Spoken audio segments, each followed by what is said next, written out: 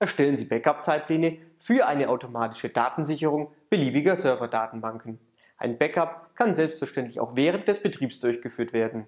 Auch Komfortfunktionen wie das Kopieren bestehender Zeitpläne ist möglich. In unserem Beispiel wird die Kopie des Zeitplans nun entsprechend angepasst. Optional können auch ältere Backup-Dateien automatisch gelöscht werden. Das Zeitintervall für die Ausführung des Backups kann frei konfiguriert werden. Zur gleichen Uhrzeit konfigurierte Backups werden nacheinander abgearbeitet. Die Datensicherungen werden im RSA-Verfahren verschlüsselt. Mit dem öffentlichen Schlüssel werden die Datensicherungen erstellt.